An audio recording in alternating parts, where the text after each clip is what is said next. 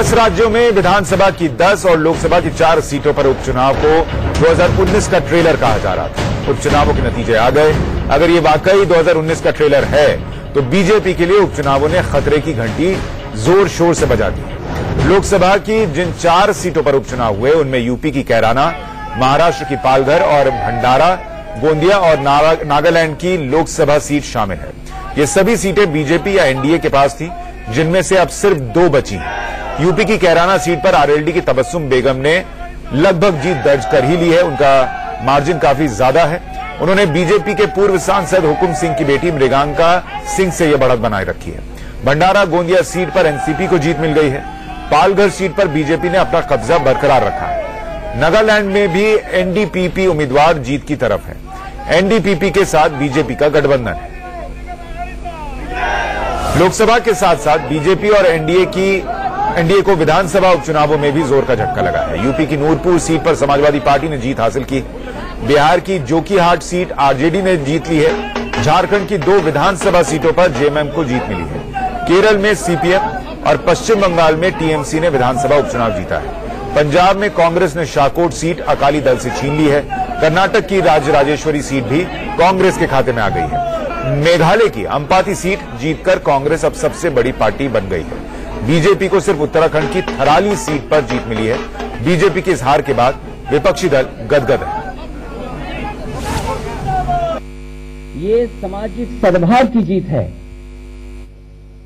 सामाजिक न्याय की जीत है। चौधरी चरण सिंह जी की विरासत की जीत है। समाजवादी नीतियों की जीत है। देश को बांटने वाली राजनीति करने वालों की यह हार है। नीतीश कुमार जी को सबक सिखाने का काम किया। ये जनता दल यूनाइटेड का घर रहा और इनको बड़ी हार का सामना करना पड़ रहा जनादेश का अपमान करने के कारण। और ये जो जीत है जनता की जीत है लालूवाद की जीत है। जनता के जनादेश का अपमान किया गया इसका सबक नीतीश जी को सिखाने का काम। जो नफरत का रथ एक चालू हुआ था और जिस क्षेत्र से एक एक देश की राजनीति बदली थी मुझे लगता है वो रथ हमने रोकने का काम किया। जो देश के असल मुद्दे हैं, विकास के मुद्दे हैं, किसान के मुद्दे हैं, नौजवान के मुद्दे हैं, वे बाकी सब विषयों पर हावी रहे। जिन्ना हारा, दंगा हारा, गन्ना जीता। ये विजय, खास करके हमारे सब लोगों के एक संयुक्त आने की वजह से हुई है। और सरकार के खिलाफ में, वो केंद्र और राज्य की सरकार के खिलाफ में लोगों की अब निष्ठा नहीं रही है, ये उसका एक सबूत है। विपक्ष के नेताओं का दावा हवा हवाई नहीं कहा जा सकता। यूपी में एसपी, बीएसपी गठबंधन ने गोरखपुर और फूलपुर में अपना दमखम दिखा दिया था। कैराना और नूरपुर उपचुनाव की जीत ने इस बात पर मुहर सी लगा दी है कि गठबंधन के आगे मोदी लहर और योगी का हिंदुत्व बेअसर साबित हो रहा है। बीजेपी के लिए चिंता की बात यह है कि अब सहयोगी दल भी हार का ठीकरा मोदी सरकार के सिर पर ही फोड़ रहे हैं।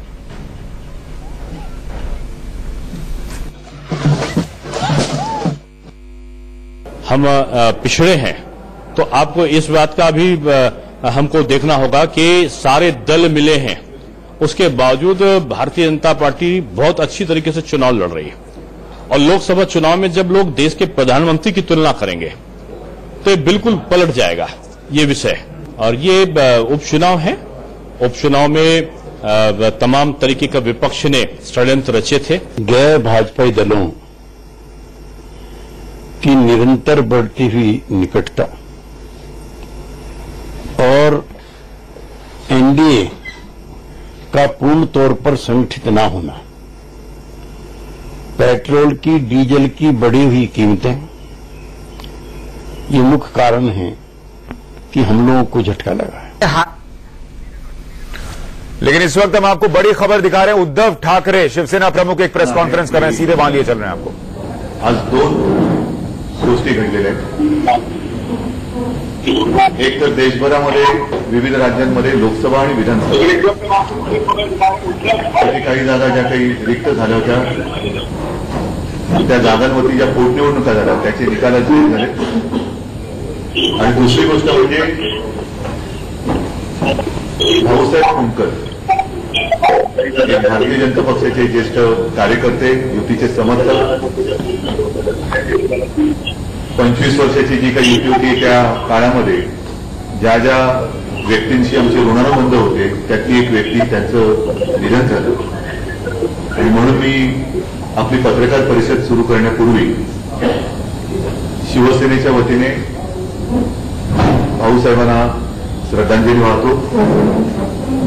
कारण असे कार्यकर्ते निष्ठावान कार्यकर्ते की जे एक विचार घेऊन त्या विचाराला आपलं जीवन समर्पित करतात.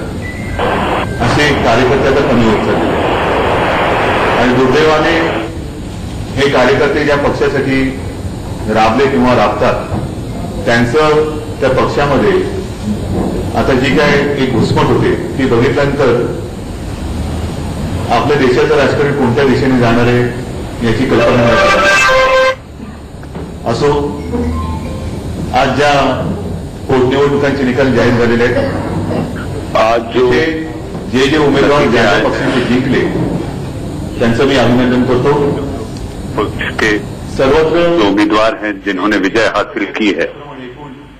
अकरा पैकी ना अकरा झाले ना अकरा पैकी दोन जागा सोडल्या एक लोकसभा आणि एक विधानसभा. तर दोन्ही लोकसभा होत्या. ग्यारह जगहों में से एक लोकसभा और एक विधानसभा अगर छोड़ दी जाए। या दोन जागा सोडल्या तर सगळीकडे भाजपचा पराभव झालेला आहे. भाजपचा पराभव ही काय सब जगह भाजपा की हार हुई है।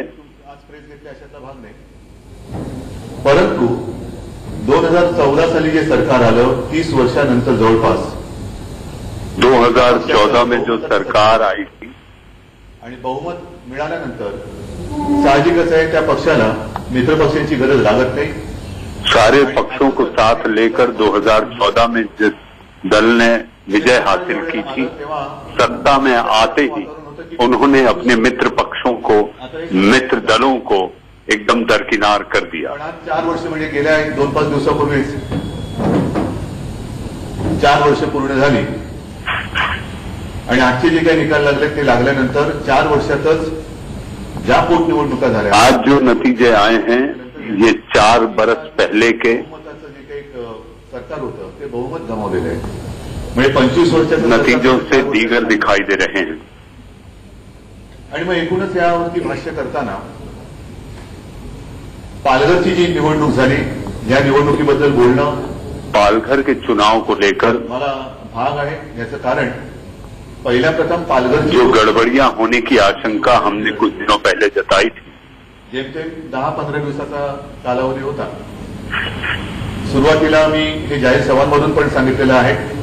की निवडणूक हमने सार्वजनिक तौर पर भी इस बात का ऐलान किया था और ज़ाहिर सभा में इस बात को रखा. था। त्यांच्यावरती झालेला अन्याय त्यांची तिकडे झालेली उपेक्षा त्यातून एका उद्वेगाने हा परिवार आला. आणि त्या परिवाराला आखिर शिवसेना को क्यों ज़रूरत पड़ी थी वहाँ पर अपना उम्मीदवार खड़ा करने की? इस बात को लेकर भी बीजेपी से नाराज होकर उनका परिवार के लोग हमारे पास आए। थे पालघरला मतदान केलं. आणि त्यापैकी सहा लाख सतरा हजार एकशे अठ्ठ्याण्णव लोकांनी भाजपला नाकारलं. मी पालघर छह लाख से ज्यादा लोगों ने पालघर में बीजेपी को नकारा है। त्याचबरोबरीने तिथले जे शिवसेनेचे कार्यकर्ते आणि एकूणच तिथे ज्या ज्या शिवसैनिकांनी प्रचंड मेहनत केली त्या शिवसैनिकांना मी मनापासून धन्यवाद देतोय. हम भले ही हार गए हों, लेकिन पालघर को लेकर शिवसेना के कार्यकर्ताओं ने जो मेहनत कर, जो नतीजा सामने लाया है, उसमें हम अपने कार्यकर्ताओं का अभिनंदन करते हैं।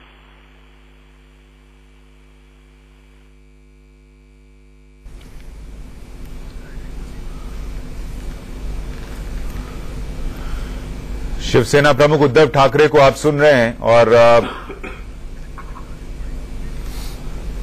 वो इस बात की जानकारी देते हुए कि किस तरीके से पालघर में भी बीजेपी ने भले जीत दर्ज की हो, लेकिन शिवसेना के कार्यकर्ताओं को वो बधाई दे रहे हैं और उनका ये कहना कि बीजेपी को ज़्यादातर वोटर वोटर्स ने रिजेक्ट किया है, भले जीत बीजेपी को मिली हो, लेकिन ये जीत उसकी जीत नहीं मानी जाएगी।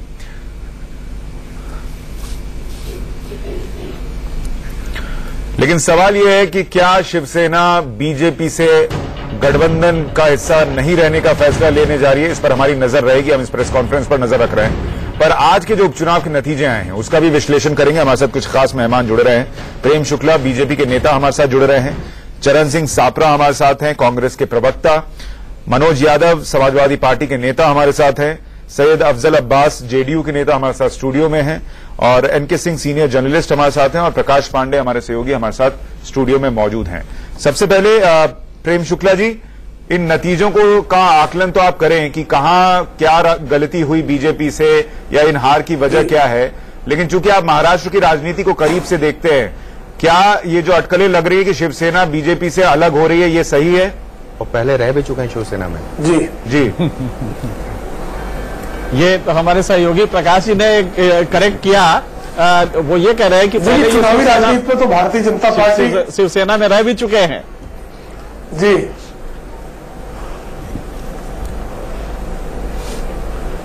मैं शिवसेना के समाचार पत्र का संपादक रहा हूँ वर्षों। जी जी जी।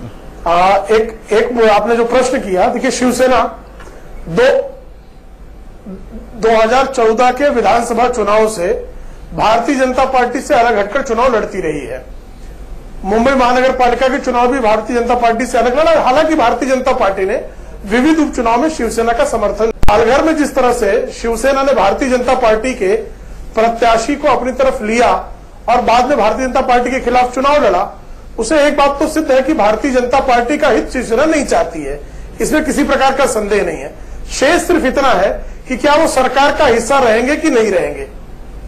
हाँ तो आप बता दीजिए आप तक तो खबर आ ही गई होगी अब तक कि उन्होंने क्या फैसला लिया है। उद्धव ठाकरे उधर बताएँ उससे पहले आप बता दीजिए हम ब्रेकिंग पहले चला देंगे। नहीं ये ये निर्णय शिवसेना पक्ष प्रमुख आदरणीय उद्धव जी को लेना है।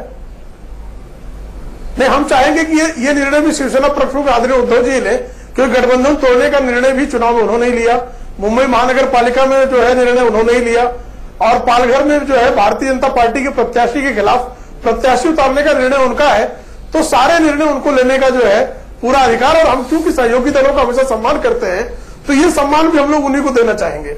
ठीक है तो इतना बता दीजिए, आप इस बात का जवाब सोच कर आए हैं कि गठबंधन टूटा तो क्यों टूटा?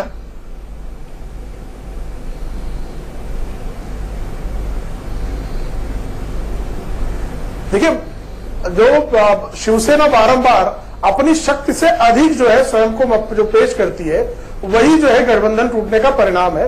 आपको ध्यान चलिए इसका मतलब टूटने जा रहा है। आप भी तैयारी के साथ आए हुए भारतीय जनता पार्टी आप भी तैयारी के साथ आए हुए हैं। इसका मतलब टूटने की कगार पर है और टूटने का फैसला शायद थोड़ी देर में सुनाई दे देगा। अब मुझे उपचुनाव के नतीजे समझा दीजिए कि ये ये जो नतीजे आए ये क्यों इस तरीके के नतीजे आए हैं? जी।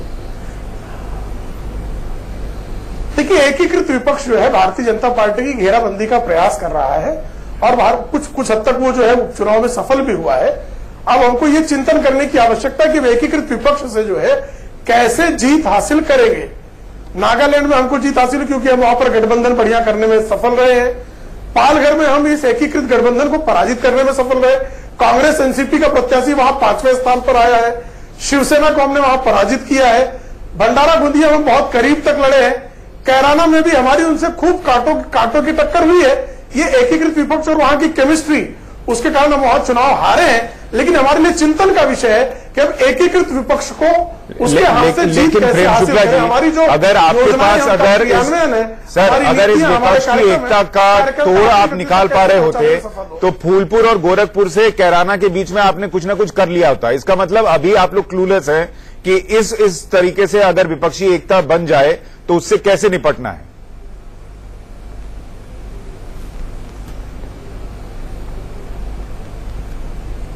नहीं निश्चित है हमारे पास फार्मूला तो हम कैराना में जीतते हैं।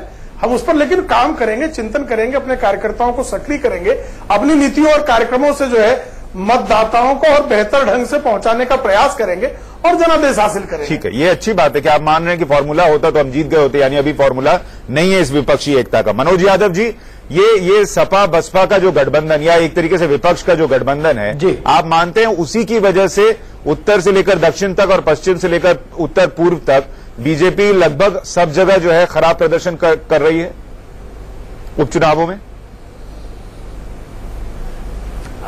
प्रशांत जी सबसे बड़ी बात सुशांत जी ये है कि जो मैं जवाब देना चाहता था वही आपका सवाल आ गया।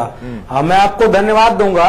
ये एक ऐसी स्थिति बनी है उत्तर प्रदेश में लोहिया के लोगों ने और अंबेडकर के लोगों ने जिस तरह का एक कोलिब्रेशन किया है उत्तर प्रदेश में जिसका मैसेज लगभग लगभग पूरे भारत में चला गया और आज पूरब से लेकर पश्चिम तक और उत्तर से लेकर दक्षिण तक जिस तरह से बीजेपी चारों खाने चित हुई है ये चुनाव ज़रूर 10 और आ, चार सीटों का था लेकिन ये कहीं ना कहीं पूरे देश का चुनाव था। और आज हार इस बात की हुई है जो अहंकारी लोग थे जो भ्रष्टाचारी और डकैत और लुटेरे लोग थे और जो एरोगेंसी के साथ भारतीय राजनीति करने की कोशिश कर रहे थे संविधान को लोकतंत्र को ना मानने की जिस तरह से इन्होंने जिद कर रखी तो थी जहाँ जहाँ उस बात सर जहाँ जहाँ कांग्रेस पार्टी हारी है पूरी बता रहे हैं। के पहले कृपा करके मुलायम सिंह और अखिलेश जी का इतिहास मैं कह रहा हूँ सर मनोज जी मुझे बताइए जहाँ जहाँ कांग्रेस हारी है आपने कहा उनकी हार हुई है जो डकैत थे लुटेरे थे तो इसमें कांग्रेस भी हारी है बहुत जगह पर तो उनके लिए भी यही शब्द इस्तेमाल कर रहे हैं आप?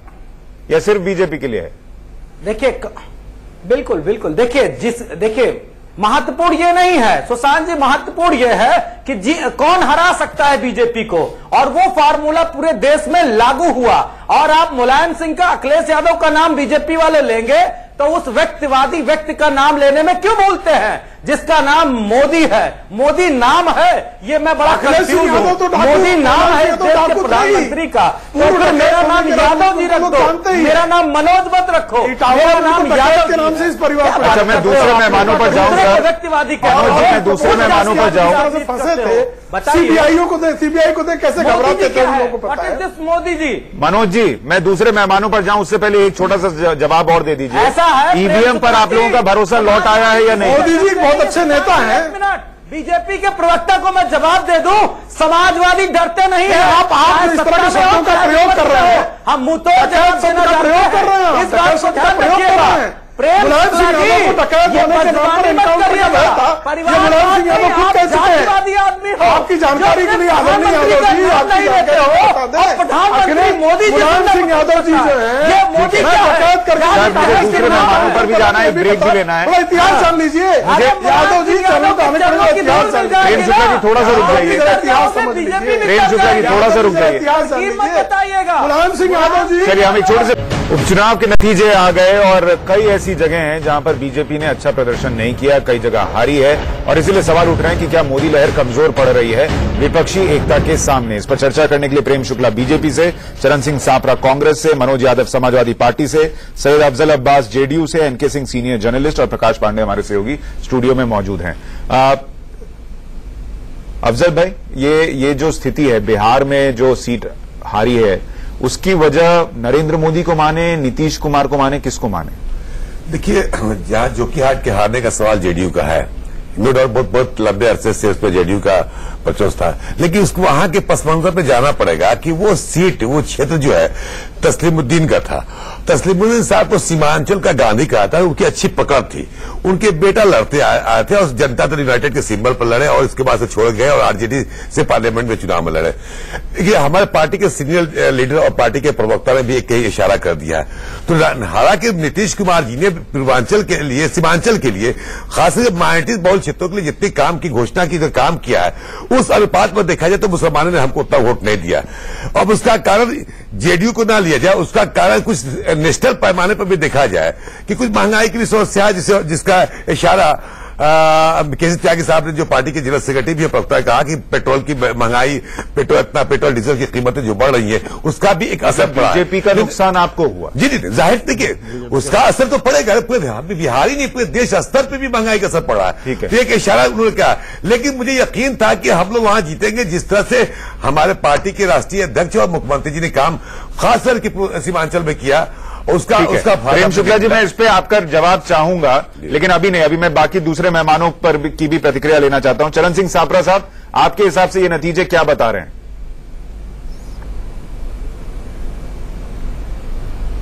तो नतीजे जो है ये चार पाँच संकेत दे रहे हैं।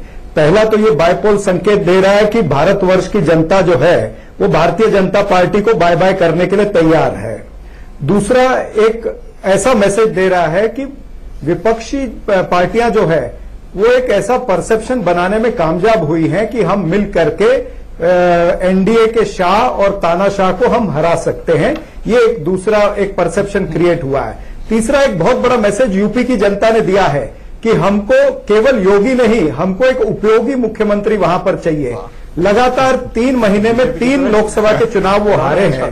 और कैराना में जहाँ साहब, पर आप- आप जो ये बाहुबल धनबल सभी कुछ ला रहे हुआ। शब्द, ये इसमें नरेंद्र बीजेपी का मोदी जी प्रभाव का भी भी दिख रहा है। उपयोग हुआ वहाँ भी वो हार जाते हैं और चौथा और। सुनिए सुनिए मैं किसी के बीच में नहीं बोल रहा था मुझे बोलने दीजिए नहीं मुझे बोलने दीजिए देखिए चौथा संकेत बिहार की जनता ने दिया है नीतीश कुमार जी को कि आपको 2015 में वोट दिया था भारतीय जनता पार्टी के खिलाफ आप जाके मोदी जी की गोद में बैठ गए तो इसलिए ये जनता ने संकेत दिया है कि नीतीश कुमार जी ने गलत निर्णय लिए हैं और आपको उसमें से सुधरना पड़ेगा और शायद इसीलिए नीतीश कुमार जी नोटबंदी के ऊपर जो उनका वक्तव्य आया या बिहार का विशेष पैकेज सर क्या ये संकेत ये नहीं है? वो भी समझ आरजेडी जेएमएम सपा मेघालय में हमारी एक सीट ज़्यादा आगे है सबसे बड़ी पार्टी मेघालय में को हो दे रही है लेकिन कांग्रेस कहीं नहीं है। पश्चिम बंगाल में आपकी पार्टी के उम्मीदवार की जमानत जब्त हो गई। आप बाकी जगहों पर आप भी हारे हैं। आप और बी, आप कहीं भी बीजेपी का विकल्प कांग्रेस नहीं है। आप ऐसे आप ऐसे कैसे कह सकते देखिए आप आप बीजेपी के प्रवक्ता मत बनिए सुनिए मैं तो सवाल पूछ रहा हूँ आपसे। पार्टी आपसे भी पूछने तो का मतलब बीजेपी का प्रवक्ता कैसे हो गया? मेघालय में जीती है। सुनिए ना। नहीं नहीं नहीं तो मैं भाई मैं बता रहा हूँ ना कि हम भी तो तीन जगह पर जीते हैं ना। और बाकी जहाँ पर हमारा गठबंधन तो था भी दो जगह पर आरजेडी के साथ में हमारा गठबंधन था तो ऐसे गठबंधन मैं तो एकता की बात कर रहा हूँ ना। आप हमको डिवाइड मत मैंने आपसे एक सवाल देखिए, जो नतीजे आए हैं एकता को तो वो भी मान रहे उसके ऊपर। बीजेपी भी मान रही है कि विपक्षी एकता का को तोड़ने का फॉर्मूला नहीं है अभी उनके पास इसलिए वो हार रहे हैं। मेरा सवाल आपसे था ये कि अगर राहुल गांधी प्राइम मिनिस्टर बनना चाह रहे हैं तो आपकी पार्टी को बीजेपी के जगह लेनी होगी सबसे बड़े पार्टी के तौर पर क्योंकि आप राष्ट्रीय पार्टी हैं। लेकिन तमाम उपचुनाव या दूसरे चुनावों को देखकर लग नहीं रहा कि आप उस जगह पर हैं, जो छोटी पार्टियाँ हैं, वो जो है जीत दिला रही हैं, आप वहाँ पर नहीं दिख रहे। ये मेरा सवाल है। नहीं नहीं, ये ये आप आप केवल ये दो तीन नतीजों से नहीं जा सकते ना। अभी राजस्थान का चुनाव बाकी है, वहाँ पर हमारी सीधी लड़ाई है, मध्य प्रदेश है, छत्तीसगढ़ है फिर इसी तरह से महाराष्ट्र के अंदर हमारी सीटें इंप्रूव होंगी। तो ऐसे कई सारे राज्य है कर्नाटका है पंजाब है वहाँ इंप्रूव होंगी तब हम देखेंगे। सीटें हिसाब से ये पूरा जो एनालिसिस तमाम नेताओं को आपने सुन तो लिया। अब दो पत्रकारों पर आए। आप पहले बता दीजिए कि ये ये जो नतीजे आए ये क्या बयान कर रहे हैं? और पार्टी 2019 में बीजेपी के लिए कोई खतरा हो सकता है क्या इन नतीजों से? देखिए दो चीज़ें हैं। एक तो बहुत अच्छा है कि बड़ा बड़ा जेंटल उसके एक्सेप्टेंस से बीजेपी प्रवक्ता ने एक्सेप्ट किया है कि नहीं साहब कुछ हमारी गलतियाँ रही हैं हम उसको एनालाइज करेंगे और गलतियाँ हैं इसमें कोई दो राय नहीं है। तो उन्होंने इसको नहीं कहा कि नहीं मोदी का बिल्कुल वो है और मोदी जी तो एक, एक मतलब ये सब ना कह के उन्होंने बड़ा लॉजिकली एक्सेप्ट किया। ये बीजेपी के स्पोक्स पर्सन के लिए बहुत बहुत धन्यवाद। और जहाँ सापरा साहब ये कह रहे हैं सापरा साहब एक चीज़ आप गौर कीजिए ये हमेशा होता है इतिहास आप देख लीजिए कांग्रेस के साथ अगर कोई अलायंस होता है, तभी वो विपक्षी अलायंस सरवाइव करेगा। आप ये 1967 में देख ले नॉन कांग्रेस फॉर्मेशन बना एसबीडी गवर्नमेंट के रूप में 10 राज्यों में रहा, तीन महीने नहीं चल पाया। हरियाणा में एक एमएलए तीन दिन में पाँच बार पार्टी चेंज किया। तो ये चल नहीं पाता है तो ज़ाहिर है कि कांग्रेस को एक सन सोलर सिस्टम में कांग्रेस रहेगी उसके इर्द गिर्द अगर अपोजिशन रहेगा, छोटी पार्टियाँ रहेंगी, तभी ये सरवाइव कर पाएगा। कोalition इसके अलावा नहीं कर पाएगा। यहाँ पे जो सिचुएशनल चेंज हुआ है, आज हम देख रहे हैं, ये वो बीजेपी है जो 22 राज्यों में है। ये वो बीजेपी है जो आज 69 परसेंट पॉपुलेशन पे रूल कर रही है। ये वो बीजेपी है जो 78 परसेंट ज्योग्राफिकल एरिया में रूल कर रही है। तो लगातार जीती ऐसा नहीं है कि हम राइट ऑफ़ कर दे बीजेपी को। हाँ जो उपचुनाव हुए हैं उसमें आप 22 में से 17 जगह बीजेपी हारी है और आज ये बहुमत अपना खो चुकी है लेकिन इसमें यह भी है ना सर कि फूलपुर और गोरखपुर का उपचुनाव हारने के बाद बस मैं उसी उसी पे आ बीजेपी रहा था। कर्नाटक में 104 सीटें हासिल की। जी हाँ बिल्कुल की। ये इसीलिए हम कह रहे हैं हाँ। कि इसको हम एनालाइज करते हैं तो जंप कर जाते हैं। कंक्लूजन पे आ रहा हूँ। चूँकि उपचुनाव में हार रही है बीजेपी तो अब तो गई बीजेपी 2019 में खत्म हो जाएगी। 2019 में मोदी को चुनना है और उसके खिलाफ देखना है कि कौन है। और यहाँ पे जो हो रहा है इसमें वो जज्बा नहीं होता है। आ रहा हूँ सर आ रहा हूँ। प्रकाश हमारे साथ हैं। प्रकाश आपके हिसाब से जरा एनालिसिस कीजिए इन नतीजों का। और दूसरा कि क्या शिवसेना गठबंधन से अलग होगी या हर बार की तरह ये गीदड़ बब की चलती रहेगी?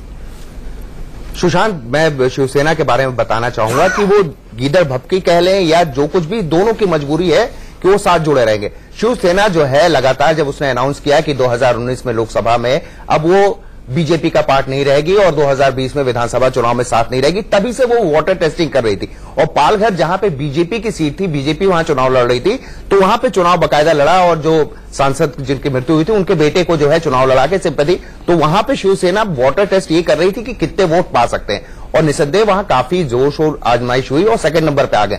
तो कहीं ना कहीं पार्टी का जो है एक मंसूबा जो था और कॉन्फिडेंस एक बड़ा हुआ है। लेकिन आज भी ब्रीफिंग में कभी ये नहीं कहा उन्होंने, लगातार वो हमले करते रहे कि ईवीएम मशीन खराब हो गई ये हुआ वो हुआ सरकार ने उसको सहयोगियों की ज़रूरत नहीं तो लेकिन वो लगातार अगर महाराष्ट्र की 48 लोकसभा सीटें हैं बीजेपी और शिवसेना अगर 2019 में अलग लड़ते हैं तो क्या बीजेपी को नुकसान हो सकता है? ज़ाहिर सी बात है बीजेपी को नुकसान होगा क्योंकि शिवसेना को जो पहले से था कि उसका महाराष्ट्र में मुंबई थाने कुछ एक इलाकों में उनका जो वर्चस्व था वो चाहते हैं कि वो बरकरार रहे और उसके लिए बहुत ज़रूरी है कि बीजेपी जो बड़े भाई की भूमिका में एकदम से आ गया है वो उसको नकारते हुए आगे बढ़ने की कोशिश कर रहे हैं और तो जिस विपक्ष की लड़ाई की बात कर प्रकाश आप कोई संभावना देखते हैं कि शिवसेना एनसीपी और कांग्रेस बीजेपी के खिलाफ 2019 में लड़ लें? ऐसा मुश्किल लगता है क्योंकि शिवसेना के साथ कहीं ना कहीं मराठी अस्मिता के अलावा एक हिंदुत्व वाली फीलिंग है जो एनसीपी कांग्रेस कभी साथ में नहीं जाएगी। हालाँकि शरद पवार जैसे चाणक्य वहाँ पे मौजूद हैं जो अगर आपको याद होगा कि जैसी विधानसभा चुनाव में जो है शिवसेना और बीजेपी अलग थे तो सबसे पहले शरद पवार ने इस बात की घोषणा की कि हम बीजेपी को समर्थन देते हैं। लेकिन अब स्थितियाँ काफ़ी हद तक अलग आजकल बीजेपी को जीतने से रोकने के लिए कुछ भी हो रहा है तो कह नहीं सकते कि क्या हो जाए। किसी ने सोचा नहीं था कि सपा बसपा भी साथ आएँगे लेकिन ये भी हो रहा है। मनोज जी मुझे ये बताइए दो चीज़ों का जवाब दीजिएगा वक्त कम है इसलिए स्पेसिफिक जवाब दीजिएगा। एक तो क्या ईवीएम में आप लोगों का भरोसा फिर से लौट आया है? और दूसरा कि क्या सपा बसपा और आरएलडी से ही काम चल रहा है? तो आप लोगों को कांग्रेस की ज़रूरत है क्या?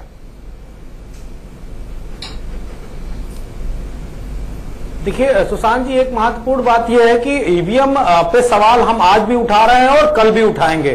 कारण यह है कि अगर ईवीएम सही होती, वीवीपैट सही से काम करता तो जो रमज़ान की वजह से हमारा बहुत सारा वोटर ऐसे ही लौट गया नूरपुर विधानसभा से, वहाँ हमारा जीत का मार्जिन कम हो गया। अगर वो कायदे से चुनाव हो जाता, हमारे वो इतने घंटे खराब ना होते तो हमारा जीत का मार्जिन कई हज़ारों में जाता। एक बात दूसरी महत्वपूर्ण बात मैं एनके सिंह जी की बात का जवाब दू, जिसमें दूसरे प्रश्न का उत्तर हो जाएगा। देखिए, कभी कांग्रेस एक बड़ी पार्टी हुआ करती थी इस देश में, और गठबंधन को वो अपने हिसाब से समर्थन देके छोटी पार्टियों को सरकारें बनवाती थी और बिगाड़ती थी। लेकिन आप जब से बीजेपी का जन्म हुआ है, बीजेपी राष्ट्रीय पार्टी बन के उभरी है, तब से कांग्रेस के पास एक बड़ी मजबूरी भी है। और यदि अब कांग्रेस दूसरी नकारात्मक अपने पुराने पैटर्न की राजनीति करेगी तो कहीं ना कहीं बीजेपी को मज़बूत करने का काम करेगी। इसलिए इस। परिप्रेक्ष्य में मैं सिर्फ़ इतना ही कहना चाहूँगा कि गठबंधन की जो सीटें होंगी वो सबसे महत्वपूर्ण होंगी और वो इस देश को एक स्थिर सरकार के रूप में दे सकती हैं। कर्नाटक इसका एक बड़ा एग्ज़ाम्पल है कि उसकी ज़्यादा सीट होने के बावजूद भी वहाँ पे मुख्यमंत्री के रूप में उन्होंने जेडीएस के मुख्यमंत्री को उतारा और उनको बहुमत साबित कराया। अब देखना होगा कि 2019 के लिए समीकरण बनेगा कैसे? क्या कांग्रेस पार्टी थोड़ा पीछे हटते हुए जो जो क्षेत्रीय दल हैं, उनको प्रमुखता से आगे आने का मौका देगी ताकि बीजेपी को रोका जा सके? ये तमाम समीकरणों की बात है, लेकिन ये भी याद रखिए कि उपचुनाव के नतीजों में कई बार बीजेपी हारी है, लेकिन उसके बाद कई जो विधानसभा चुनाव हुए, उसमें उसने जीत दर्ज की है। इसलिए कह नहीं सकते आप कि पूरी तरीके से बीजेपी को खारिज किया जाएगा इन उपचुनाव के नतीजों से। आप सभी मेहमानों का बहुत शुक्रिया इस चर्चा में जुड़ने के लिए। महाबहस में आज के लिए नमस्कार।